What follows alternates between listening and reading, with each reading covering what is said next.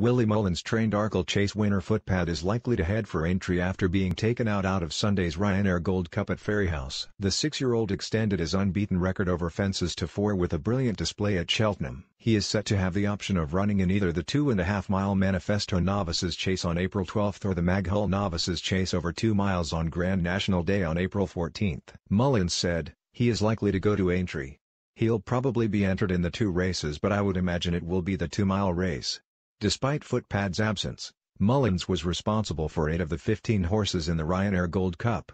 The champion trainers contenders include Al Boum Photo, Invitation Only and course winners Kemboy and Saturnas.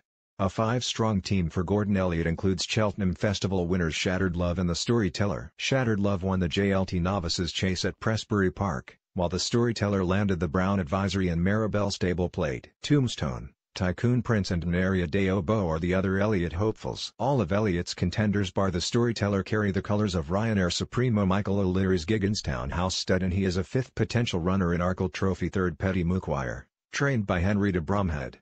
Snow Falcon from Noel Meade's Yard completes the list. The Mullins-trained Laurina is the star name among 14 possible runners in the Irish Stallion Farms EBF Mares Novice Hurdle Championship final. The five-year-old was a brilliant winner of the Trull House Stud Mares Novices Hurdle at Cheltenham and would undoubtedly be a warm order if stepping up to Grade 1 level this weekend. A six-strong Mullins team also includes Salsaretta, while Elliott looks set to rely on recent Grade 3 Victor Lackaneen Leader. Dan Skelton's Momella and Emma Lavelle's Woolstone 1 are potential British challengers. A strong card also features the Grade 2 Easter Festival Novice Hurdle. Getabird could bid to bounce back from a disappointing run when favourite for the Supreme Novices Hurdle at Cheltenham, while Mullins has also entered Ballymore Novices Hurdle third next destination, among several others.